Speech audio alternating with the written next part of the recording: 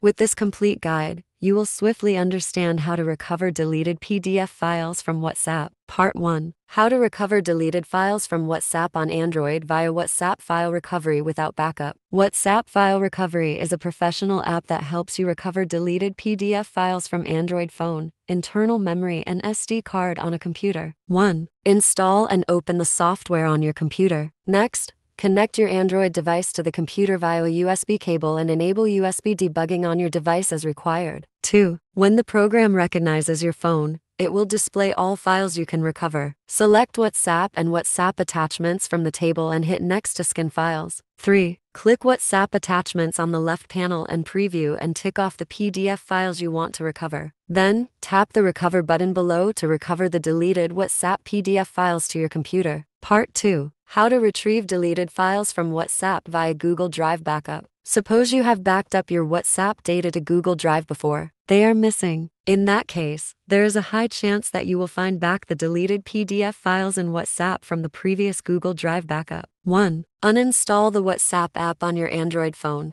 2. Reinstall the latest version of WhatsApp from Google Play Store on your Android device. Later, run the app, sign in with the same phone number associated with your account, and verify the account with the on screen prompts. 3. When it asks you whether to restore backups from Google Drive or not, choose the Restore option and wait until it finishes the process. 4. When it informs you Restore completed, tap Next and enter your name in the prompt. Then you will access the backup media data including PDF files on WhatsApp. Part 3. How to get deleted PDF from WhatsApp via Google Drive Trash. Assume you have made a backup of WhatsApp documents to Google Drive beforehand but accidentally deleted them. You can retrieve them from Google Drive Trash. 1. Open the Google Drive app on your Android device and tap the three line icon at the top left corner. 2. Scroll down to select the trash section and find the desired PDF file there. 3. Click the three vertical dots next to it and hit the Restore button. Part 4. How to restore deleted files from WhatsApp using iCloud Backup.